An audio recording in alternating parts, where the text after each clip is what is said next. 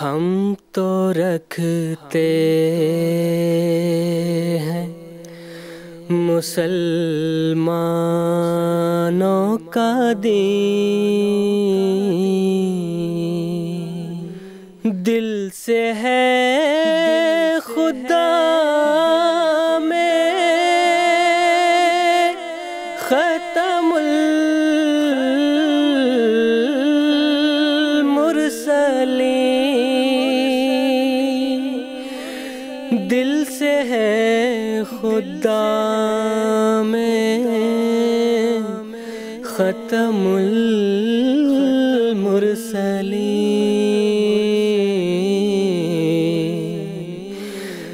खत्मुल Mursaleen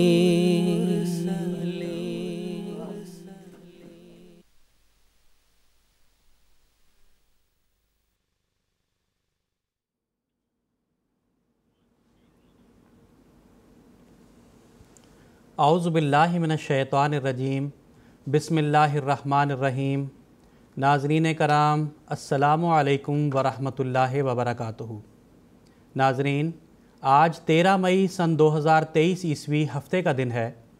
India में इस वक्त रात के 10 बजे हैं और जीएमटी के मुताबिक इस वक्त सपहर के साढ़े चार बजे हैं। और नाजरीन, ये वक्त है प्रोग्राम राह हुदा का। नाजरीन, कादियान दारुलमान से प्रोग्राम राह हुदा के चार एपिसोड्स पर मुश्तमिल सीरीज़ के दूसरे एपिसोड के साथ आज हम आपकी खिदमत में हाजिर हैं। हमारे रेगुलर व्यूवर्स ये बात जानते हैं कि प्रोग्राम राह हुदा एक लाइव डिस्कशन प्रोग्राम है और लाइव होने के साथ साथ ये प्रोग्राम इंटरेक्टिव भी है। ये प्रोग्राम इंटरेक्टिव इस हवाले से है कि हमारे नाजरीन, हमारे साथ, हमारे इस प्रोग्राम में जुड़ सकते हैं, हमारे साथ शामिल गुफ्तु हो सकते हैं। यानी हम स्टूडियो डिस्कशन के साथ साथ अपने नाजरीन करान की फ़ोन कॉल्स को अटेंड करते हैं, उनके सवालात को सुनते हैं और यहाँ स्टूडियो में मौजूद कराम के पैनल में उन सवालात को पेश करते हैं। और हमारे कराम इसी प्रोग्राम के ज़रिया हमारे नाजरीन के सवालात के जवाब देते हैं। नाजरीन, आप हमसे टेलीफ़ोन लाइंस के ज़रिए रबता कर सकते हैं। इसी तरह टेक्स्ट मैसेजेस, फैक्स मैसेजेस और ईमेल की सहूलियत भी दस्तियाब है। नाजरीन, अगर आप हमसे हमारे इस प्रोग्राम में जुड़ना चाहते हैं, इस प्रोग्राम में शामिल होना चाहते हैं और अपने सवालात के जवाब हासिल करना चाहते हैं तो मैं आपको ये बता दूँ कि हमारी टेलीफोन लाइंस अब से एक्टिवेटेड हैं और मैं ये उम्मीद करता हूँ कि आप अपनी टेलीविज़न स्क्रीन्स पर हमसे रबते की तमाम तफासिल मुलाहजा फरमा रहे होंगे। नाजरीन, जैसा कि खाकसर ने अभी अर्ज़ किया कि कादियान दारुलमान से प्रोग्राम राह हुदा के जो चार एपिसोड्स पर मुश्तमिल सीरीज़ नशर की जाती है, आज उस सीरीज़ का दूसरा एपिसोड एपिसोड है।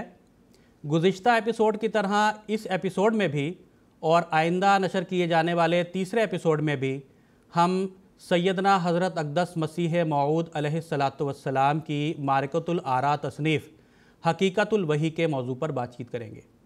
बानी जमात अहमदिया मिर्ज़ा ग़ुलाम अहमद साहिब कादियानी ने इस तसनीफ़ में जो हकायक और मारफ़ की बातें बयान की हैं, उनका तस्करा किया जाएगा।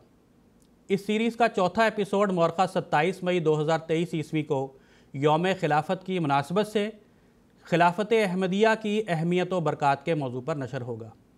नाजरीन, आज के इस प्रोग्राम में खाकसार के साथ जो दो कराम मौजूद हैं, मैं उनका तारफ़ करवा देता हूँ।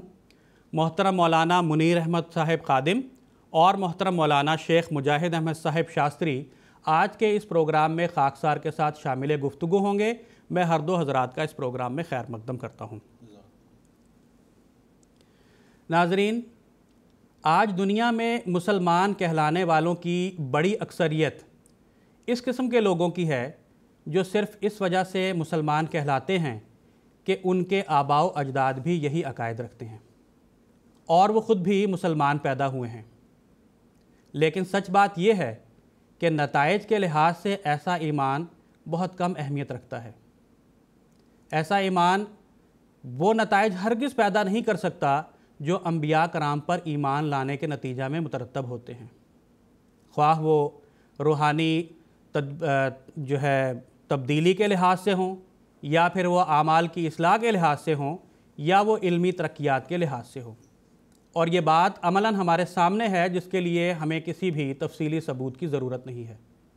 दर हकीकत, ईमान तब ही ईमान कहला सकता है, जब वो मज़बूत और हकीकी बुनियादों पर कायम हो और ऐसे शवाहद और आसार का नतीजा हो जिन पर किसी किस्म का सवाल नहीं हो सकता या जिनको तब्दील नहीं किया जा सकता। सिर्फ़ ऐसा ही ईमान हकीकी रूहानी तब्दीली और दीगर नतज का बायस बन सकता है। नाजरीन कराम, आज के एपिसोड में हम सैदना हज़रत अकदस मसीह मऊद सलाम की ज़िंदगी के मुख्तलिफ़ पहलुओं के ताल्लुक से बातचीत करेंगे। आप पर आने वाले मुख्तलिफ़ हालात का तस्करा किया जाएगा और इस बात का भी तस्करा किया जाएगा कि किस रंग में अल्लाह ताला ने आपकी ताइद नुसरत फरमाई और किस रंग में अल्लाह ताला हर आन आपके साथ आपका शामिल हाल रहा। तो नाजरीन, आज के एपिसोड का सबसे पहला सवाल खाकसार मोहतरम मौलाना मुनीर अहमद साहब खादिम से पूछना चाहता है कि कुरान करीम की जो आयात वाइज़त सोहफ़ व नौशरत वाइज़ल बिहार फुजरत को हज़रत अकदस मसीह मऊद सलाम ने अपनी सदाकत के तौर पर पेश किया है। इसकी कुछ वजाहत बयान फरमाएँ। बसमीम कुरान मजीद में और अहादीस में बहुत सी निशानियाँ बयान की गई हैं, जो आने वाले इमाम महदी और मसीह मऊद के मुतालिक हैं। और, कुरान मजीद की जो इस दौर में अजीम शान तफसीर सैदना हज़रत अकदस मसीह मऊद वसलाम ने अल्लाह ताला के हुक्म से पेश फरमाई, अल्लाह, बल्कि अल्लाह ताला के इल्हाम से पेश फरमाई। उसमें आपने इन आयात को, के बारे में यह फरमाया कि ये क़ुरब क़यामत के ज़माना में जबकि इमाम महदी और मसीह मऊद का ज़हूर होगा ये निशानियाँ उसकी सच्चाई और उसकी सदाकत के लिए अल्लाह ताला ज़ाहिर फरमाएगा।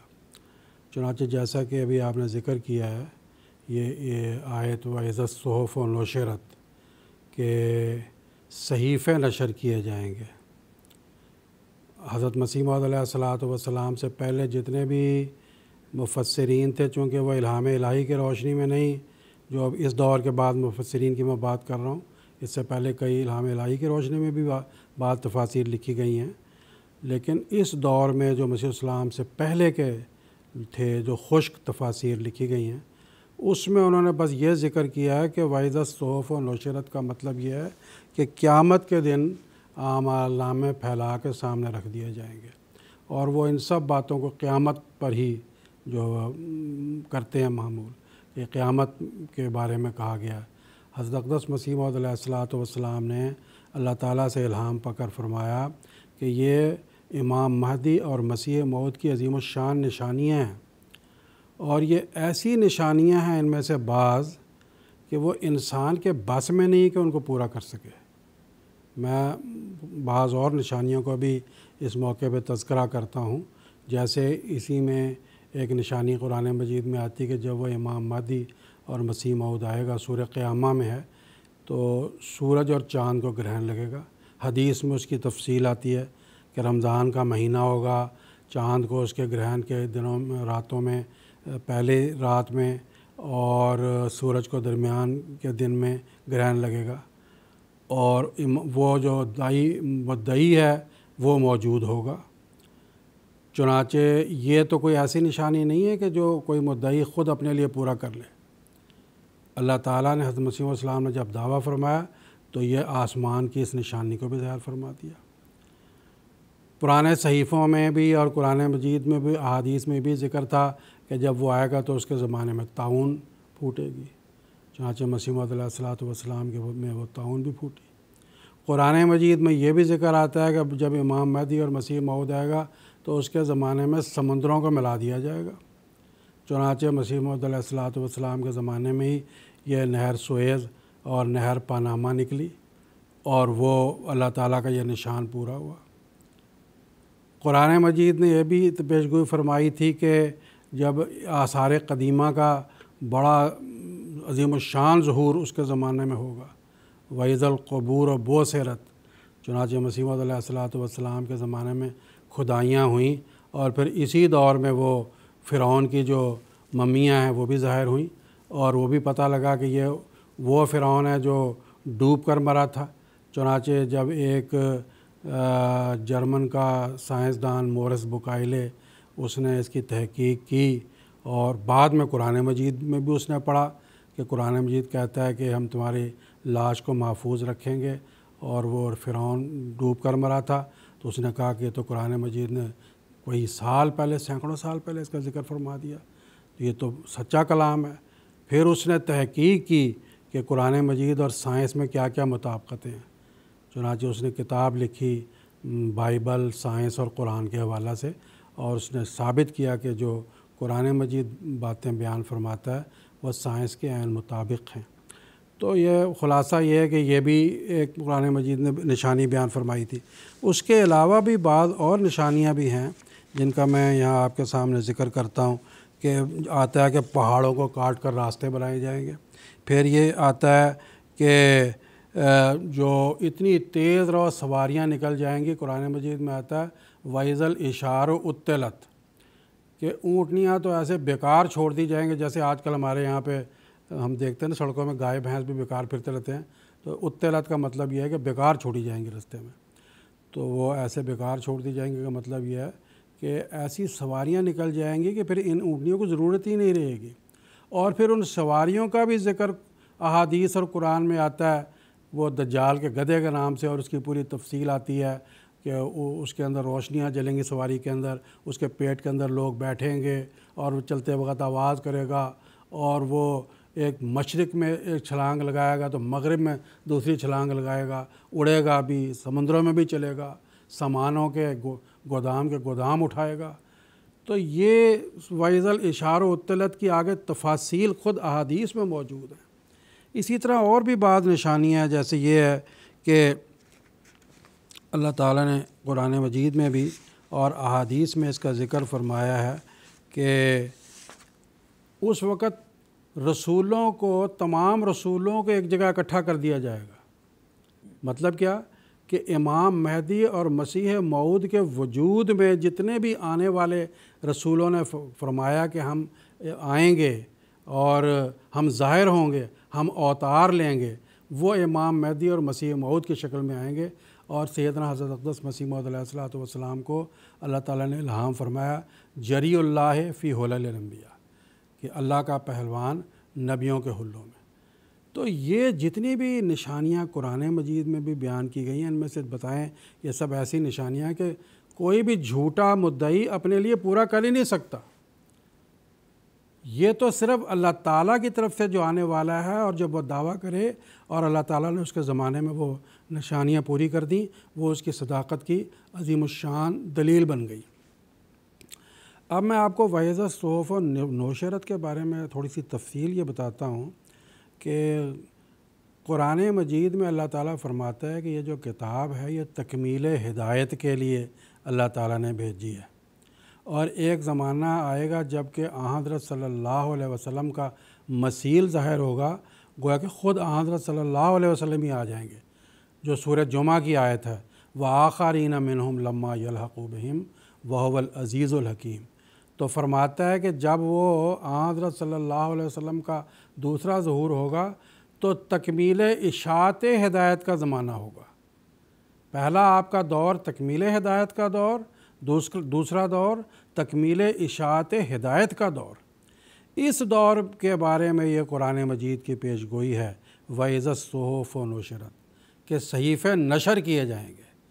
चुनाच हज़रत अकदस मसीम वसलाम ने किताब हकीकतुलवही में इसका ज़िक्र करते हुए फरमाया कि देखो ये प्रेस की तरफ़ इशारा है कि किताबें छपेंगी और फिर वाइज़ल इशार उत्तलत में फरमाया गया कि ऊँटनियों को छोड़ दिया जाएगा, फिर ऐसी सवारियाँ निकलेंगी माल बर्दारी करने वाली कि उन पर लाद कर इन किताबों को पर दूसरी जगह भेजा जा सकेगा। तो चुनाचे अब देख लें, आज के ज़माने में तो किताबें नशर भी की जा रही हैं। जैसे नेट का ज़माना आ गया तो आपको किताबें नेट के अंदर कैसे नशर हो रही हैं और लखू खा किताबें। हर आदमी की जेब में पड़ी हैं। हर आदमी की जेब में लाइब्रेरी पड़ी हुई है। अब आप देख लें वाइज़ा सहूफ़ नौशरत की ये जो दलील है और जो हज़रत मिर्ज़ा ग़ुलाम अहमद कादियानी वसलाम के लिए उनके ज़माने में, उनके दावत के, दावा करने के ज़माने में अल्लाह ताला ने पूरी फरमाई। तो क्या हज़रत मिर्ज़ा ग़ुलाम अहमद कादियानी सलाम के बस में था कि आप इन, इस पेशगोई को अपने लिए पूरा कर देते? वो ज़मीन व आसमान का जो मालिक खुदा है, जो सब ताकतें रखता है, ये उसके हाथ में है। अब अगर हम आँखें रखते हुए भी इन पेशगोइयों का, कि ऐसी पेशगोइयाँ का जो इंसान के बस में नहीं कि वो पूरा कर सके, फिर भी इनकार करें तो ये बहुत बड़ी कुफरान नेमत है। इसीलिए हमारी तो दरख्वास्त है अपने भाइयों से कि ये हकीकत वही में जिस कदर पेशगोइयाँ लिखी हुई हैं। इनको गौर से पढ़ना चाहिए, इनको समझना चाहिए। हमारे नौजवानों से भी, अहमदी नौजवानों से भी दरख्वास्त है कि वो भी पढ़ें। जब वो पढ़ेंगे तो आगे फिर दूसरों को समझा भी सकेंगे। और गैर अहमदी भी जो हमारे भाई हैं या दूसरे गैर मुस्लिम भाई हैं, उनसे भी हमारी आजाना दरख्वास्त है कि इन पेशगोइयों को पढ़ें। अब इसमें एक पेशगोई और भी जिसका भी आपने ज़िक्र फरमाया व इज़ल बिहारो फुजरत कि वो ज़माना ऐसा होगा कि दरियाओं को फाड़ा जाएगा तो उसमें से नहरें निकाली जाएँगी।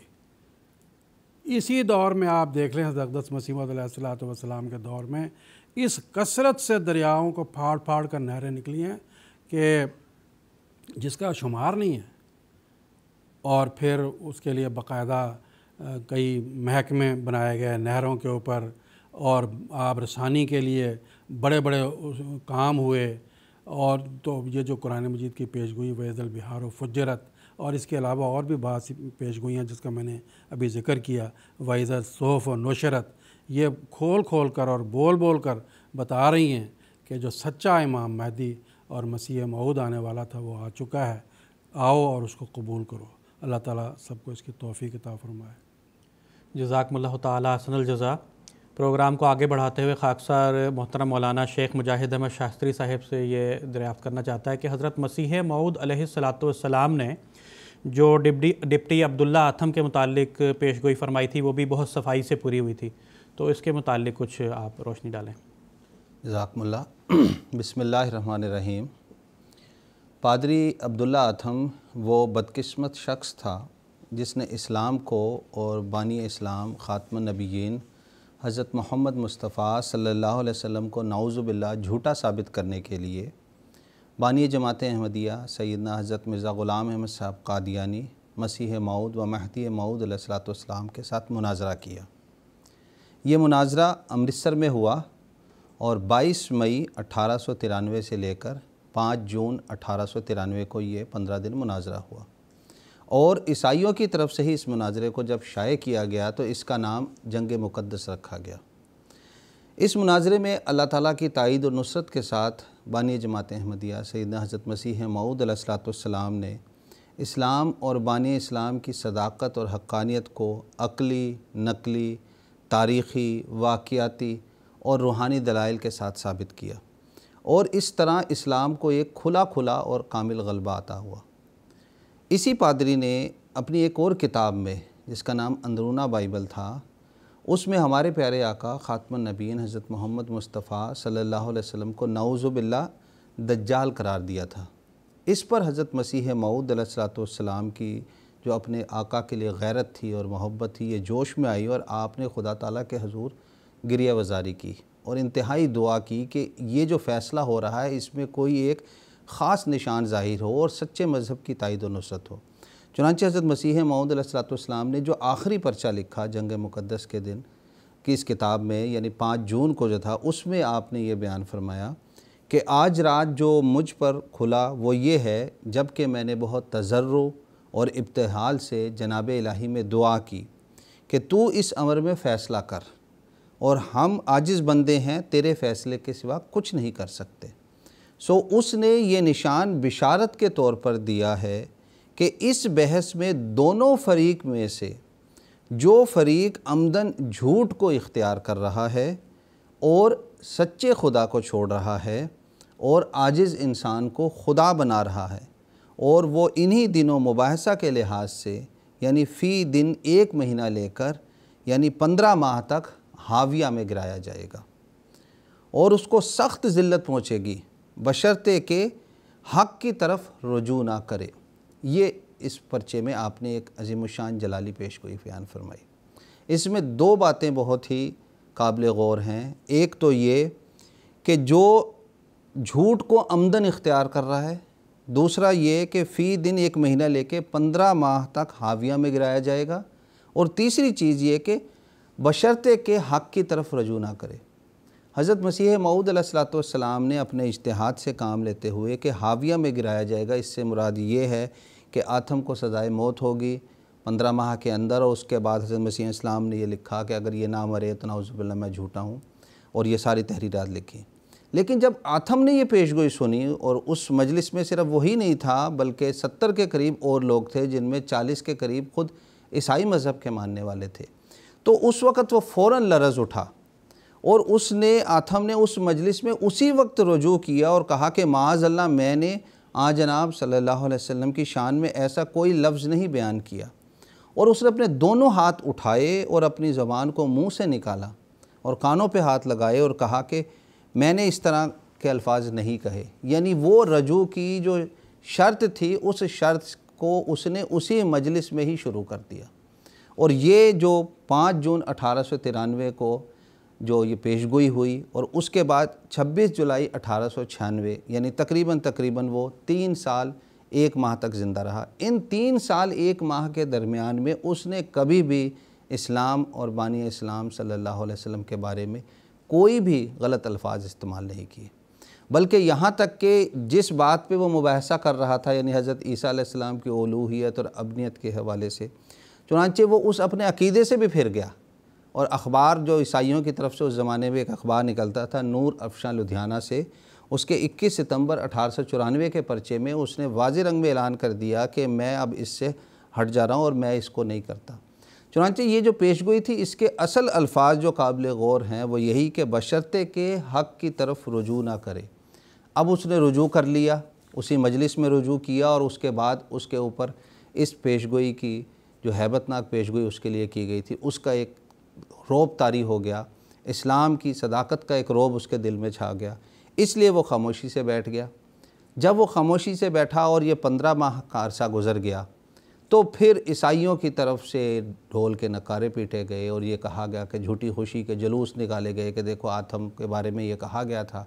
आथम ज़िंदा है, अभी भी मौजूद है। और बाज़ यहाँ तक के जो मुखालफन थे, हज़रत मसीह मऊदम के मुसलमान थे, वो भी उसमें शामिल हो रहे थे। हालाँकि वो ये नहीं देखते थे कि ईसाइत की जीत के साथ नवज़बिल्ला वसल्लम की हार का ये जुलूस मनाया जा रहा है। लेकिन जब ये मामला हुआ और हज़रत मसीह मऊद तक ये बात पहुँची तो आपने आथम को एलानिया एक हज़ार रुपये का ऐलान का इश्तहार किया और ये कहा कि वो इस बात का ऐलान करे और ये इस बात की कसम खाए। कि इस अरसे में, पंद्रह माह के अरसे में उस पर इस्लाम का रोब और उसकी सदाकत ज़ाहिर नहीं हुई। तब ये बात वाज हो जाएगी कि हाँ ये पेश गोई का असर उस पर नहीं हुआ। लेकिन आथम ने इस जाम फ़ैसले के मुताबिक कसम खाने से इनकार कर दिया। उसने दो उज़र पेश कर दिए। एक वो ये कहने लगा कि भाई, कसम खाना मेरे मज़हब यानी ईसाइत में ममनू है। हज़रत मसीह मऊद इस्लाम ने कई हवाले बाइबल से पेश किए कि देखे, इसने भी कसम खाई और इसने भी और इस नबी ने भी कसमें खाई। दूसरा उसने ये गुज़र पेश कर दिया कि बेशक मैं डरा तो ज़रूर था, मगर मैं पेशगोई से नहीं डरा था, मैं इसलिए डर गया था कि कहीं मुझे कत्ल ना कर दिया जाए। गोया के आमदन उसने जो सच्ची पेशगोई थी उसको छुपाने की कोशिश की और हक़ को छुपाया। हज़रत मसीह मऊद इस्लाम ने इस ऐलान को फिर रकम उसकी बढ़ाई, एक हज़ार से दो हज़ार, तीन हज़ार, चार हज़ार तक की। और फिर आपने मुख्तलिफ़ इश्तहारात में दिया कि अब आप जो असल पेश गोई थी वो तो एक तरफ़ रह गई ये अब आपका मामला आ गया कि आप पेश गोई को इख्फा कर रहे हैं और उसको छुपा रहे हैं, उसकी हकानियत को लोगों के सामने मुशतबा कर रहे हैं। फिर हज़रत मसीह इस्लाम ने बयान फरमाया ये कि अब अगर आथम साहब कसम खा लेवें तो वादा एक साल कतई और यकीनी है, जिसके साथ कोई शर्त नहीं और तकदीर मुबरम है। और अगर कसम ना खावें तो फिर भी खुदा ताला ऐसे मुजरिम को बेसज़ा नहीं छोड़ेगा, जिसने हक़ का इख्फा करके दुनिया को धोखा देना चाहा। ये हज़रत मसीह इस्लाम ने इसके बाद भी फिर इश्तहार दिए, जो आखिरी इश्तहार था, तेईस दिसंबर अठारह को इश्तहार दिया और कहा कि चूँकि इसने हक़ को छुपाना चाहा और ख़ुदा ताला की इस अजीम शान पेशगोई को, जो इस्लाम की सदाकत के लिए ज़ाहिर हो रही थी, इसको मुशतबा करना चाहा, इसीलिए अब ये इस दुनिया से, इस किस्म की ही मौत मरेगा कि जो मकाम इबरत होगी। चुनानचे इसके मुताबिक आथम 26 जुलाई अठारह को इसकी वफ़ात हुई और इस तरह इस्लाम की अजीम शान पेश गोई ज़ाहिर हुई, जो इस्लाम की सच्चाई की और हकानियत की एक अजीम शान दलील है।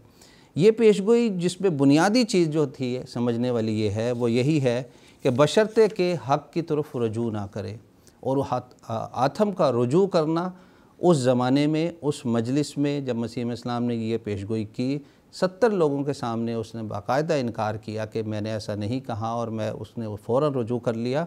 और आखिर में जो वो मारा गया, वो इसलिए कि उसने खुदा की पेश गोई को, जो सच्चाई थी, उसको इख्फा करना चाहा, उसकी हकानियत को छुपाना चाहा, इसलिए वो हाविया की मौत में मारा गया। जजाकमल्ला तसनल जजा।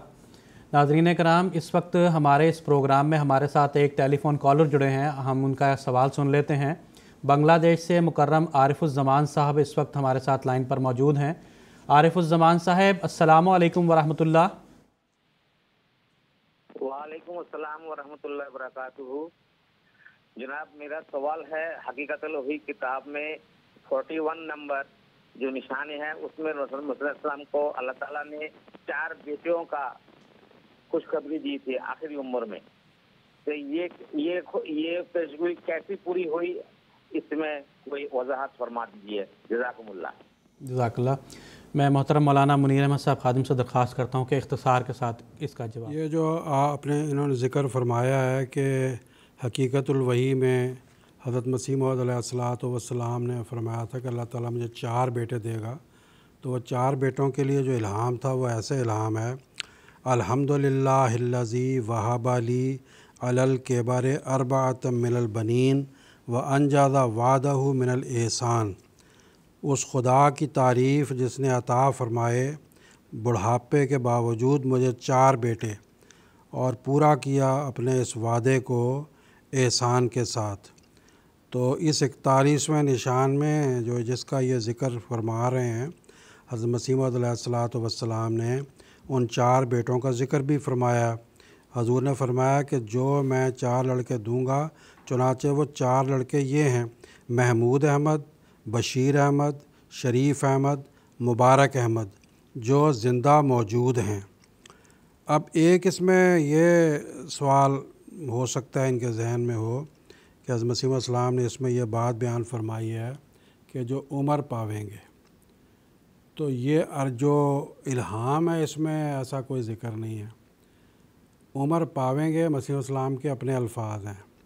और हज़रत मसीम वसलाम ने इससे पहले हज़मिया मुबारक अहमद साहब के बारे में भी और एक जो आपके पहले भी बाज़ बच्चे फौत हुए, उनके बारे में ये अल्लाह ताला की वही बयान फरमा दी थी कि अल्लाह ताला ने मुझे बयान फरमा फरमाया कि बाज़ बच्चे तेरे कम उम्री में फ़ौत होंगे। ये भी एक इल्हाम है कि बाज़ बच्चे कम उम्री में फ़ौत होंगे। चुनाचे बाज़ लोगों ने जब बशीर अव्वल की वफ़ात पर हंगामा खड़ा किया और हजमिया मुबारक अहमद साहब की वफ़ात पर भी एतराज़ात हुए।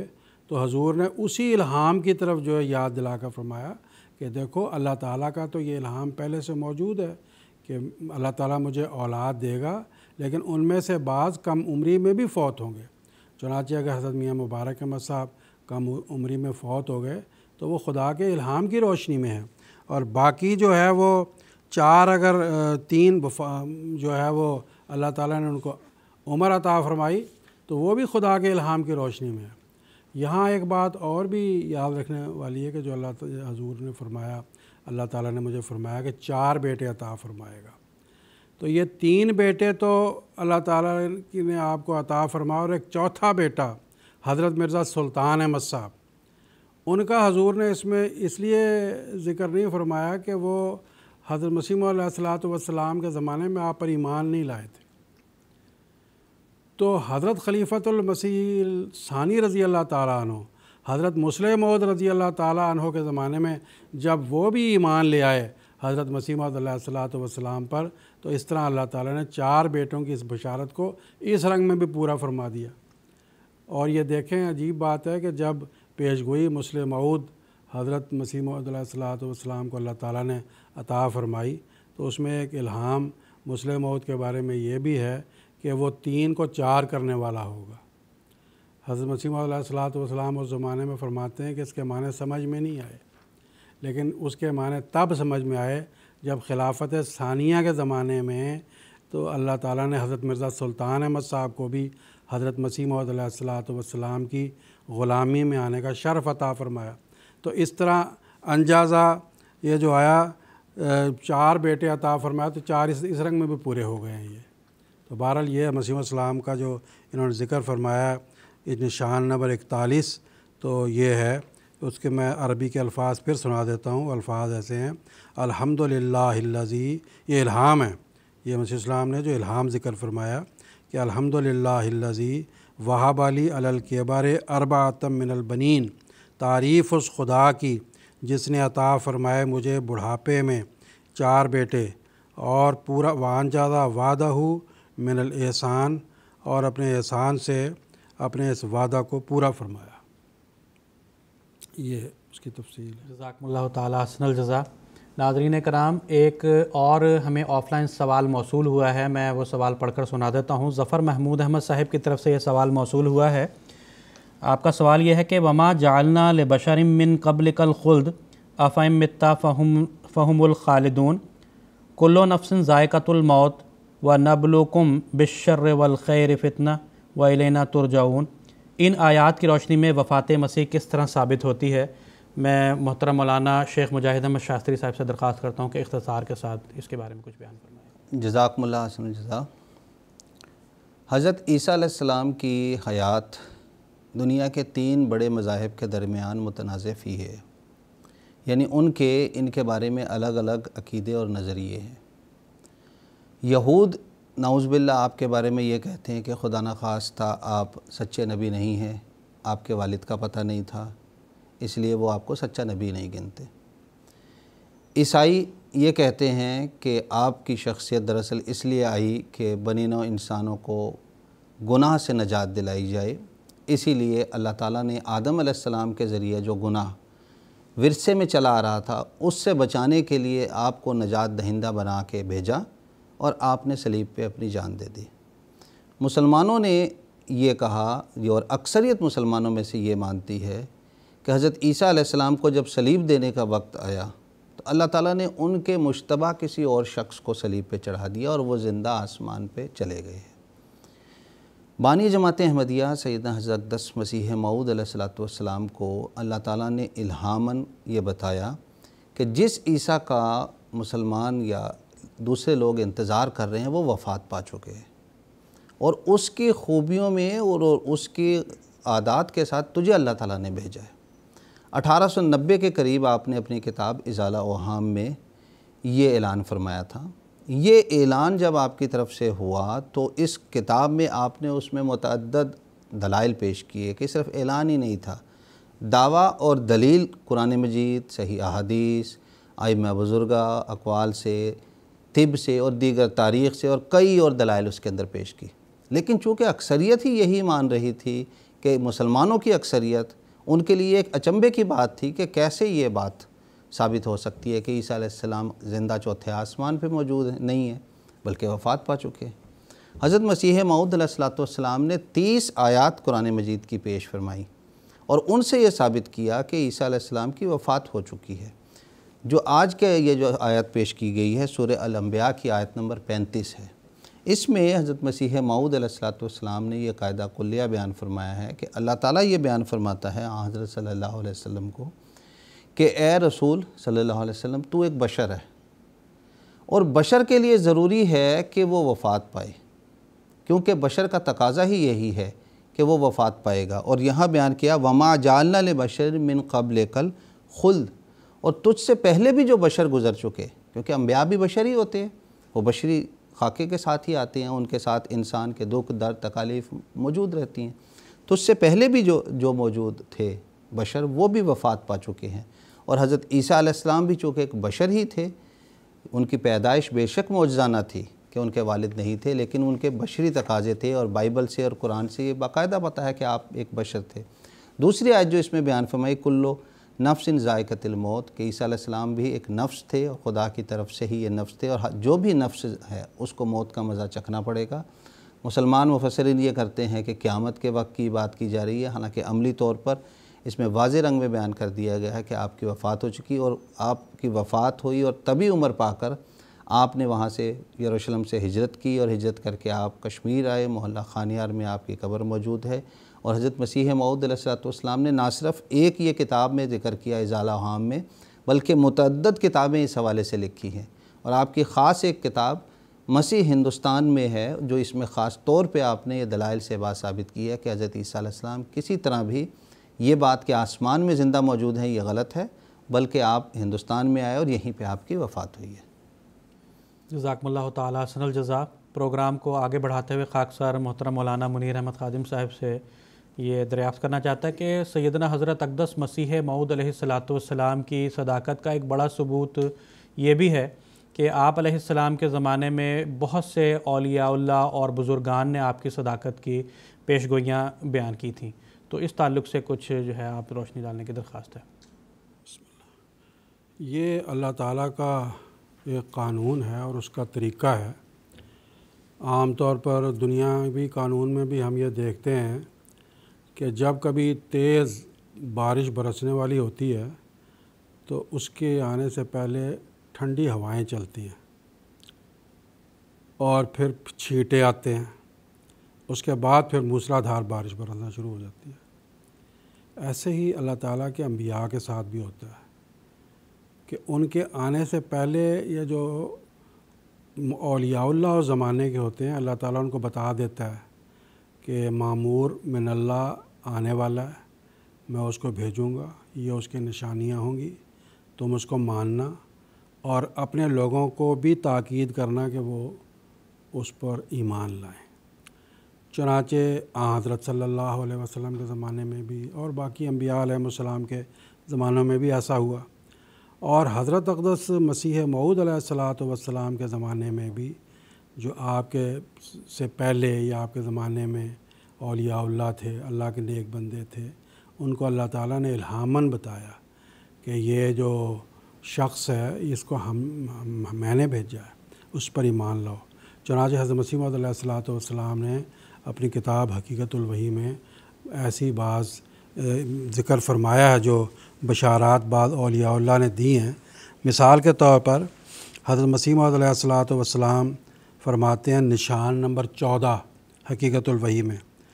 फ़रमाया, मेरी नस्बत नेमतुल्ला वली की पेशगोई, जिसको मैंने अपनी किताब निशान आसमानी में नकल किया है। ये हज़रत नमतुल्ला वली आठ सौ चौरासी हिजरी में इनकी वफ़ात हुई है। बहुत बड़े बुज़ुर्ग थे, अल्लाह के वली थे। इन्होंने एक बड़ा कसीदा भी लिखा है। और उसमें भी हज़रत मसीम सलाम के बारे में पेश गोइयाँ की हैं। चुनाचे उसमें से बड़ा कसीदा है।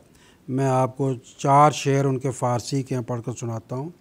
वो लिखते हैं, अलिफ़, हे, मीम, दाल, में ख़ानम, नाम आ नाम नामदार में बीनम।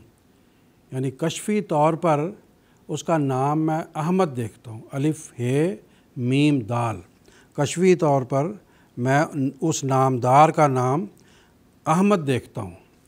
आगे फरमाते हैं महदी वक्त व ईसा दौरान हर दो रा शाह सवार में बीनम कि वो आने वाला महदी भी वही होगा और ईसा भी वही होगा। चुनाचे देख लें ये जो आम मुसलमानों में अकीदा कि ईसा आसमाम महदी आसमाम पहले आएँगे और ईसा आसमाम आसमान से उतरेंगे और वो उनका इस्तबाल करेंगे। तो ये उन्होंने इस बा, बात की नफ़ी की है। फरमाया कि वही महदी होगा, वही ईसा दौरा होगा। महदी वक्त तो ईसा दौरा हर दो राज शाह सवार में भी न। हर दो को मैं देखता हूँ कि वो एक ही वजूद में के नाम है। उसके बाद आपने ये भी बशारत अल्लाह ताला से पाकर दी कि जब वो इमाम महदी और मसीह मौत गुज़र जाएँगे तो उनके बाद उनका बेटा उनकी जगह पर बैठेगा। फरमाते हैं, दौरे वो चूँ शवद तमाम बकाम पिसरश यादगार में बीनम। जब उसका दौर मुकम्मल हो जाएगा कामयाबी और कामरानी के साथ तो उसके बेटे को मैं उसकी यादगार के तौर पर उसकी जगह, उसकी गद्दी पे, उसकी खिलाफत में बैठा हुआ देखता हूँ। चनाचे देख लें, सैकड़ों साल पहले अल्लाह ताला ने नाम भी बता दिया। ये भी बता दिया कि वही मसीह होगा, वही मेहदी होगा। ये भी फरमा दिया कि मुस्लिम मौत भी, मुस्लिम मौत की भी पेशगोई आ गई इसके अंदर। तो ये हज़रत मसीह वसलाम ने इसका जो निशान आसमानी में ज़िक्र फरमाया, ये रूहानी ख़जा, रूहानी ख़जाइन की जल्द नंबर चार है। इसके अलावा एक और मसीह सलाम ने ज़िक्र फरमाया कि करीम बख्श जमालपुरी ने हज़रत मसीह वसलाम के सामने ये ज़िक्र किया और तहरीरी तौर पर ज़िक्र किया। क्या ज़िक्र किया कि एक शख्स गुलाब शाह मजजूब ने उनके सामने ये बताया, जो जमालपुर ज़िला लुधियाना के रहने वाले थे, उन्होंने कहा कि, जो जिनका भी ज़िक्र नाम लिया ना, गुलाब शाह साहब ने, उन्होंने कहा कि करीम बख्श जमालपुरी को, कि ईसा जवान हो गया है और वह कादियान में है। और वो मैं देखता हूँ कि आएगा और कुरान मजीद की गलतियाँ निकालेगा। तो वो कहने लगे कि ऐसा कैसे होता है? कुरान मजीद की गलतियाँ निकाल, कहने लगे, नहीं, इसका मतलब ये है कि कुरान मजीद में जो लोगों ने गलत गलत हाशिए चढ़ा दिए हैं, गलत तफासिर कर दिए हैं, वो उन गलतियों की दुरुस्ती करेगा। तो फिर उन्होंने उनसे पूछा कि कादियान उन्होंने फिर उनके ख्याल में ये बात आई कि शायद लुधियाना में भी एक कादियान है। जब यहाँ से हम जाते हैं कादियान से जीटी रोड के ऊपर तो लुधियाना आने से पहले बाएँ तरफ़ आपको एक बोर्ड लगा हुआ नज़र आएगा, उस पर कादियाँ लिखा हुआ है। तो उन्होंने कहा, करीम बख्श साहब ने, कि इस कादियान में कहाँ इमाम मेहदी? तो कहते हैं कि उन्होंने कहा कि नहीं, ये कादियान नहीं है, वो कादियान और है और तुम उसको तलाश करना। चुनाचे जब मसीम और ये भी कहा कि वो लुधियाना में आएगा।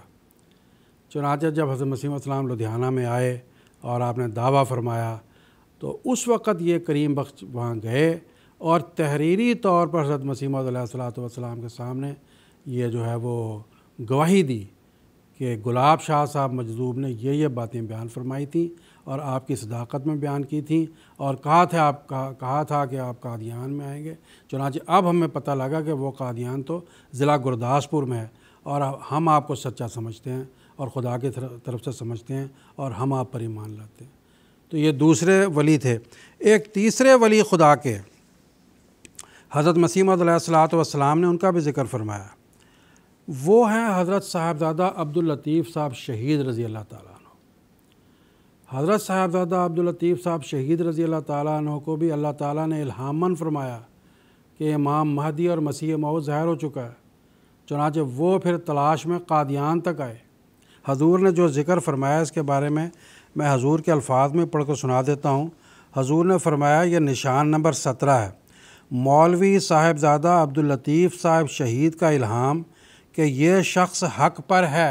अल्लाह ताला ने उनको इल्हामन बताया, जब किसी ने वहाँ ख़बर दी उनको काबुल में, आपके बारे में तो अल्लाह ताला ने इल्हामन बताया कि यह शख्स हक पर है। मसीह मऊद भी है और उसके साथ कई मुतवातर ख्वाबें थीं, जिन्होंने मौलवी साहब मौसूफ़ को वो इस्तकामत बख्शी कि आखिर उन्होंने मेरी तस्दीक के लिए काबुल की सरजमीन में अमीर काबुल के हुक्म से जान दी। उनको कई मरतबा अमीर ने फहमाइश की कि उस शख्स की बैत अगर छोड़ दो तो पहले से भी ज़्यादा आपकी इज़्ज़त की जाएगी। मगर उन्होंने कहा कि मैं जान को ईमान पर मुक़दम नहीं रख सकता। आखिर उन्होंने इस राह में जान दी और कहा कि इस राह में खुदा की रजामंदी के लिए जान देना पसंद करता हूँ। तब वो पत्थरों से संसार किए गए और ऐसी इस्तकामत दिखलाई कि एक आह भी उनके मुँह से ना निकली और चालीस दिन तक उनकी नाश पत्थरों में पड़ी रही। और फिर एक मुरीद अहमद नूर नाम ने उनकी लाश दफन की और बयान किया गया है कि उनकी कब्र से अब तक मुश्क की खुशबू आती है। और एक बाल उनका इस जगह पहुँचाया गया, यानी कादियान भी पहुँचाया गया। हज़रत मसीम फरमाते हैं कि जिससे अब तक मुश्क की खुशबू आती है और हमारे बैतुद्दुआ के गोशा में एक शीशा में आवीज़ां है। अब ज़ाहिर है कि अगर ये कारोबार महज एक मुफ्तरी का फ़रेब था तो शहीद मरहूम को इतने दूर दराज फासला पर से क्यों मेरी सच्चाई के बारे में इल्हाम हुए और क्यों मुतवातर ख्वाबें आईं? वो तो मेरे नाम से भी बेखबर थे। महज खुदा ने उनको मेरी ख़बर दी कि पंजाब में मसीह मऊद पैदा हो गया। तब उन्होंने पंजाब की ख़बरों की तफ्तीश शुरू की और जब ये पता मिल गया कि दर हकीकत एक शख्स कादियान मुतल पंजाब, ज़िला गुरदासपुर में मसीह मऊद होने का दावा करता है, तब सब कुछ छोड़कर मेरी तरफ़ भागे। तो ये चंद मिसालें हैं बाज़ अलियाल्ला की। इनके अलावा सैकड़ों नहीं हज़ारों मिसालें सवा सौ साल में ऐसी पाई जाती हैं कि लो, लोगों ने बैतें की हैं और अल्लाह ने पहले उनको बताया कि ये शख्स इमाम महदी है ये शख्स मसीह मऊद है ये शख्स सल्लल्लाहु अलैहि वसल्लम का आशिक है। बाद लोगों को जब हजूर शक ख्वाब में दिखाए गए या कश्फ में दिखाए गए तो उन्होंने फिर फ़ोटो जब देखी तो उन्होंने कहा, यही, वही शख्स है जिसको हमने देखा था। चुनाचे ये तो अलियाल्ला हैं, लेकिन हज़ार हा लोग ऐसे भी हैं जिन्होंने मसीम के ज़माने में भी और हज़रत मसीम सलाम के ज़माने के बाद अब तक भी खिलाफत जो हम, अल्लाह ताला के फजल से खिलाफत खामसा तक सैदना हज़रत अकदस अमीरमिन अय्याद ताला बिन अज़ीज़ के ख़ुतबात व ख़िताबात जो हम लोग सुनते हैं, अक्सर उनमें यही आता है। कि फ़लाँ शख्स ने इस तरह बैत की कि पहले से और ख़ास तौर पर जो अब अरबों में बैतों का एक बड़ा अजीम शान सिलसिला शुरू हो चुका है और हो रहा है, उनमें से बहुतों को अल्लाह ताला ने ख्वाब में बताया कि ये शख्स सच्चा इमाम महदी है, सच्चा मसीह मऊद है। मैं हज़रत मसीम के ज़माने में बाज़ सहाबा के एक दो के नाम भी इस मौके पर लेता हूँ। एक हाफिज़ नूर अहमद लुधियानवी और हज़रत डॉक्टर सैयद अब्दुलसत्तार शाह साहब रज़ी अल्लाह ताला और हाफिज़ नूर मोहम्मद साहब फैज़ुल्ला चक्के और मियाँ फ़ज़ल मोहम्मद साहब। ये इन लोगों ने आ हज़रत सल्लल्लाहु अलैहि वसल्लम को ख्वाब में देखा सबने और आ हज़रत सल्लल्लाहु अलैहि वसल्लम ने बताया कि ये खुदा ताला की तरफ़ से और सच्चे इमाम और मसीह मऊद हैं और ये लोग फिर हज़रत मसीह मऊद वसलाम पर ईमान लाए। तो ऐसी सैकड़ों नहीं, हज़ारों मिसालें हैं और मसीह इस्लाम के ज़माने से पहले अलियाल्ला की भी बहुत सी मिसालें हैं। मैंने तो वक्त के लिहाज से सिर्फ़ चंद एक का ज़िक्र किया है। जजाकमल्ला तसनल जजा। प्रोग्राम को आगे बढ़ाते हुए खाकसर का अगला सवाल मोहतरम मौलाना शेख मुजाहिद अहमद शास्त्री साहब से ये है कि बराहीन अहमदिया में अल्लाह ताला ने हज़रत अकदस मसीह मऊद सलाम से ये वादा फ़रमाया कि अल्लाह ताला जो है आपको कत्ल वगैरह के मंसूबों मंसूबों से महफूज रखेगा। और हम ये देखते हैं कि मुतद इस किस्म के हमले जो है आप पर होते रहे और अल्लाह ताला ने दुश्मनों के शर से आपकी हिफाजत फरमाई। तो इस बारे में भी कुछ रोशनी डालने की दरख्वास्त है। बसमीम कुरान मजीद में अल्लाह ताला ने हमारे प्यारे आका, ख़ात्म नबीन हज़रत मोहम्मद मुस्तफ़ा सल्लल्लाहु अलैहि वसल्लम के बारे में ये हतमी वादा बयान फरमाया है कि वल्लाह यासम का मैनन्नास। सुर अलमायदा, आयत नंबर अड़सठ। कि यानी खुदा तुझे उन लोगों के शर से बचाएगा जो तेरे कत्ल करने की घात में लगे रहते हैं। ये अरबी लफ्ज़ है, यासमों का जो लफ्ज़ है, इसका का मजदर है आसामा ऐन स्वाद और मीम। और इसी से हमारी ज़बान उर्दू में भी लफ्ज़ असमत बनता है। हज़रत मसीह मऊद सलाम ने अपनी किताब नज़ुलमसीह में इस आयत की तफसीर बयान करते हुए बयान फरमाया कि असमत से मुराद ये है कि बड़ी आफ़तों से जो दुश्मन का असल मकसूद था बचाया जावे। यानी ये जो वादा है हिफाजत का, इसमें बड़े बड़े मसाइब और आफतें हैं। वरना देखो हज़रत सल्लल्लाहु अलैहि वसल्लम से भी असमत का वादा किया गया था। हालाँकि ओहद की लड़ाई में हज़रत सल्लल्लाहु अलैहि वसल्लम को सख्त ज़ख़म पहुँचे थे। बस असम के अंदर जो बचाने का वादा है, वो कत्ल के मंसूबों से ख़ास तौर पर बचाने का वादे का ज़िक्र किया जा रहा है। और हज़रत सल्लल्लाहु अलैहि वसल्लम की ज़िंदगी में ऐसे बेशुमार वाक़ात हमें नज़र आते हैं कि जब मुखालफन ने पूरी कोशिश की कि आप सल्लल्लाहु अलैहि वसल्लम को नवज़ुबिल्ला कत्ल कर दें, लेकिन अल्लाह ताला ने ख़ास ताइद और नुसरत से आपकी हिफाजत की। चुनानचे हिजरत का वाक़ पूरा हमारा आता है कि किस तरह सुराका पीछे पड़ा और आप सल्लल्लाहु अलैहि वसल्लम की अल्लाह ताला ने ताइद और नुसरत से मदद फरमाई। आप सल्लल्लाहु अलैहि वसल्लम की कामिल ग़ुलामी में, कामिल पैरवी के नतीजे में बानी जमात अहमदिया हज़रत मसीह मऊद अलैहिस्सलाम को अल्लाह ताला ने जो मकाम और मर्तबा अता फ़रमाया, वो था मसीह मऊद और महदी मऊद का मकाम। और उससे बढ़कर ज़िली नबूत का मकाम अता फ़रमाया। इसीलिए आपके साथ भी अल्लाह ताला ने ख़ास तौर पर मौजाना हिफाजत का वादा फ़रमाया। क्योंकि आप सल्लल्लाहु अलैहि वसल्लम जिस आका की ग़ुलामी में आए थे, उसके साथ भी ये वादा था, वो कामिल मुताबिक यहाँ भी थी। चुनानचे आपके ज़िम्मे अहियाए दीन का अजीम शान काम दिया गया। ये काम इंतहाई सब्र आज़मा काम था। एक तरफ़ ये काम नहीं था, बल्कि शश जिहाद में था। एक मज़हब के साथ ये ताल्लुक़ नहीं रखता था, बल्कि मुख्तलिफ़ मज़ाहब के लोगों के साथ ये मुकाबला हो रहा था। और मुखालफन की तरफ़ से पूरे एड़ी चोटी का ज़ोर लगाया जा रहा था।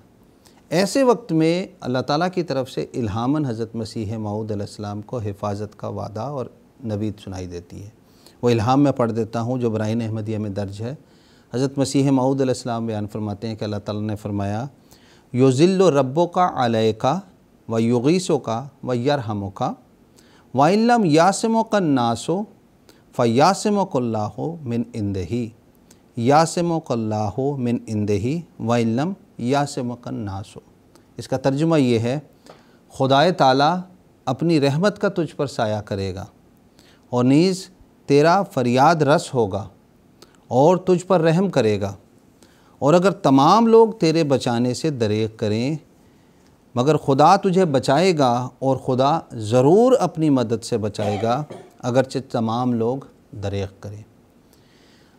अब गौर वाली बात यह है और जिस पर तदब्बर करना चाहिए कि ये वादा क्यों होता है असमत का?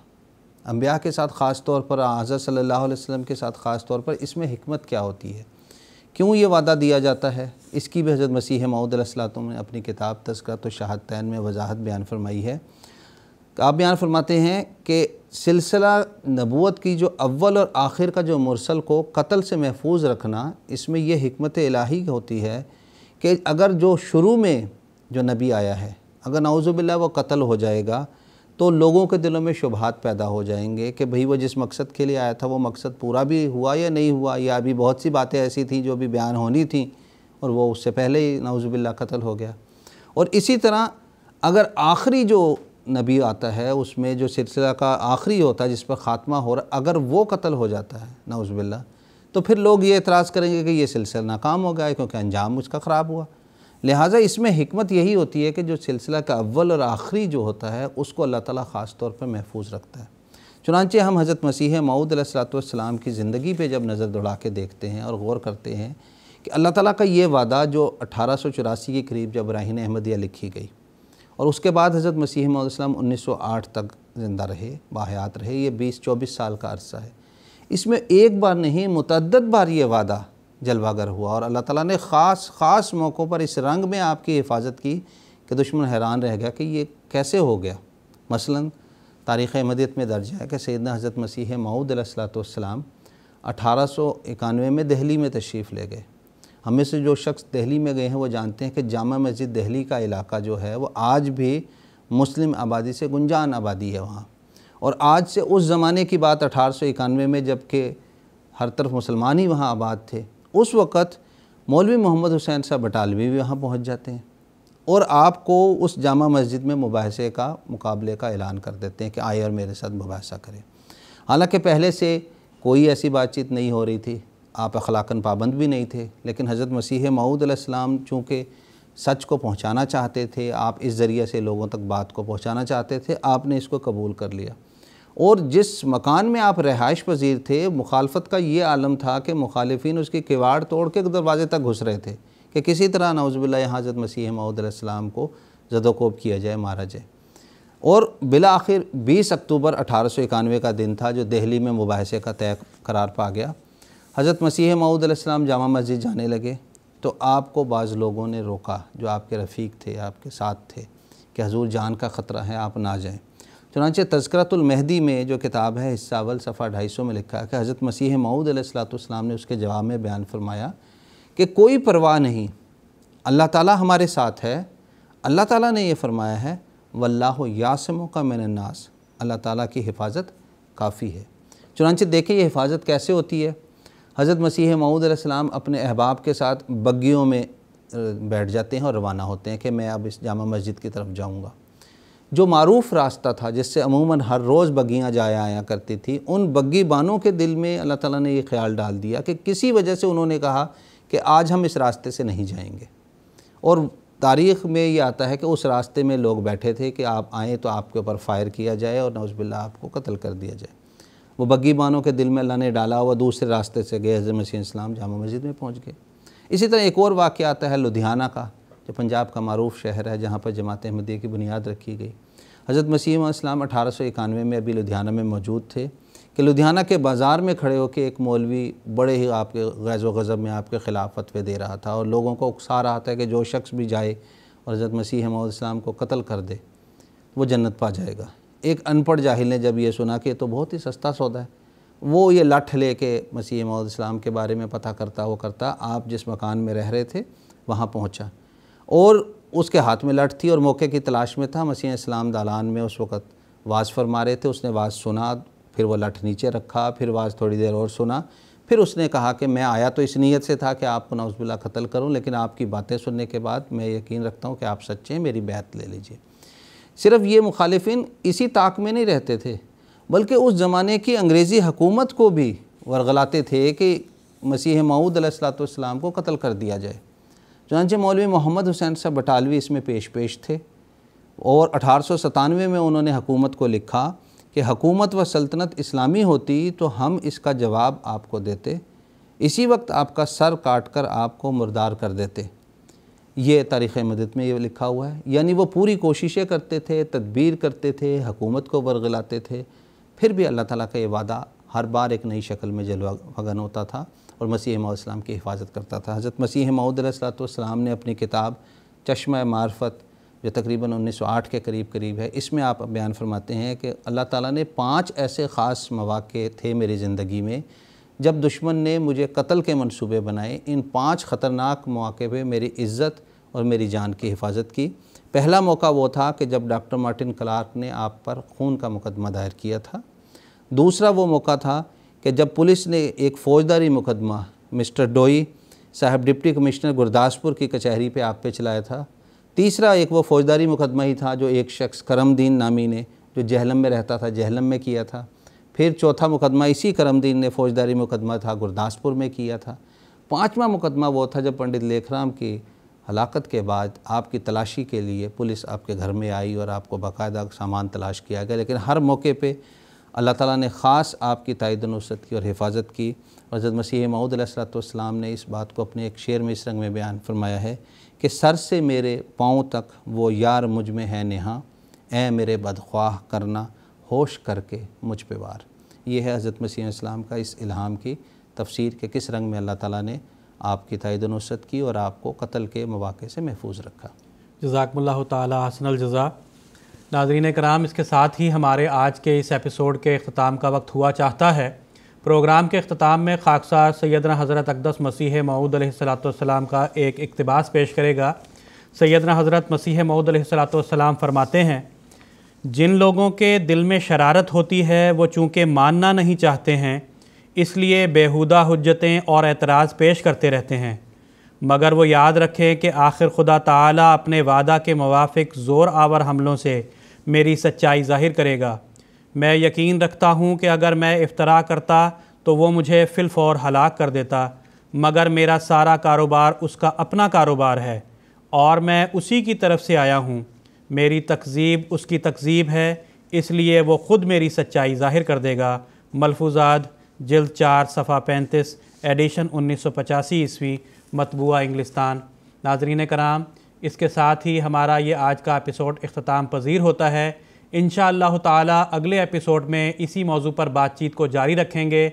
इजाज़त दीजिए। असलकम वरहमल वबरक के यही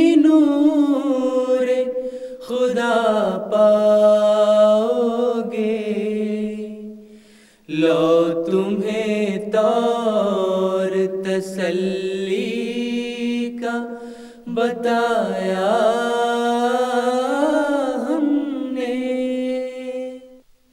आओ लोगों के यही नूर खुदा पाओगे।